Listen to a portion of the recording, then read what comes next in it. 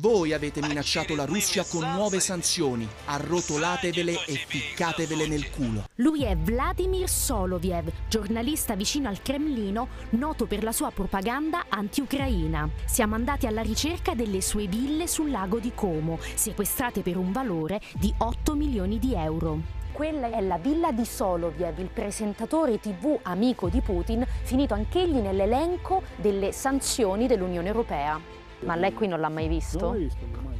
Ecco, questa è l'ultima proprietà che è stata scoperta sempre a nome di uh, Soloviev. Sul citofono c'è anche il suo nome, ma uh, citofonando non risponde nessuno.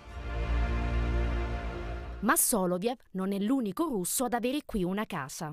Adesso ti farò vedere la villa più bella e più famosa del lago di Como. Lei è Angelina, un'agente immobiliare di origine russa. Con Mary sono specializzate in appartamenti di lusso. Questa villa è una delle ville più famose del lago di Como, si chiama Villa Le Fontanelle, che era di famiglia Versace. Adesso appartiene a un noto imprenditore di origine russa, il signor Novikov. Quanto l'ha pagata questa? Saremo attorno a una trentina di milioni. E poco distante dalla villa di George Clooney troviamo la dimora di Igor Kogan, conosciuto come il banchiere di Putin.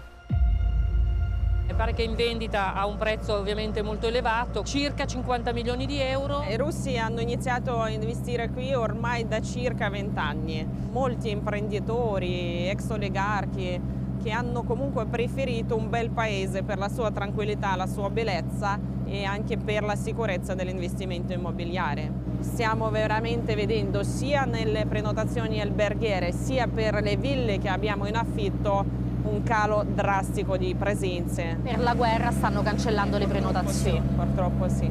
Avremmo perso un 40%. Qual è lo stile di vita del russo quando viene qui? Escono spesso, escono a cene, a pranzi, organizzano pranzi in villa, servizi di elicottero quando si spostano verso Venezia. Vi chiedono l'elicottero per spostare? Sì, qualche volta capita. Siamo al ristorante Crotto dei Platani, che è stato sempre ambito dai clienti russi. Qui stiamo entrando nella parte più interessante, quella che piace un po' più ai russi, la cantina.